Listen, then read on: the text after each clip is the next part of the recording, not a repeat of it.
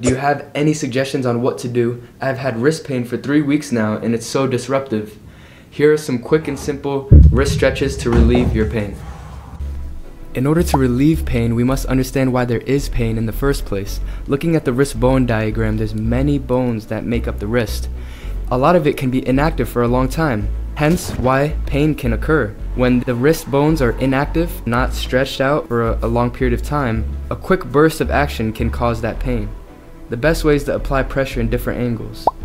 And I try to imagine four angles like a compass the front, back, and the sides, or north, east, south, west.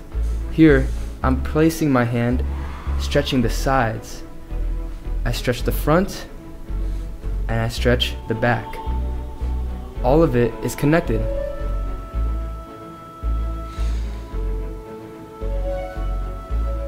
Now, I focus on one finger at a time. When I was first starting out in calisthenics, I would have a lot of wrist pain doing a lot of push ups and planks, handstand push ups.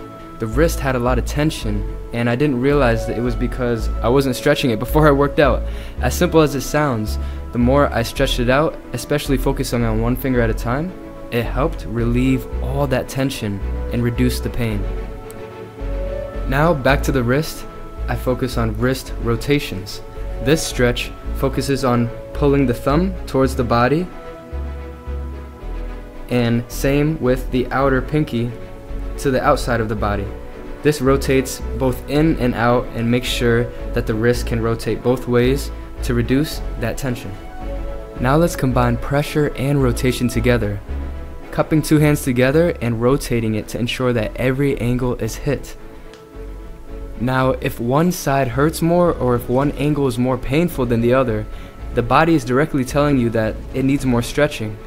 So, listening to the body and figuring out what needs to be worked on is the best way to improve the wrist flexibility and strength.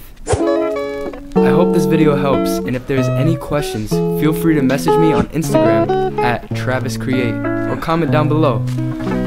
Let's keep going and let's get stronger together. Let's go.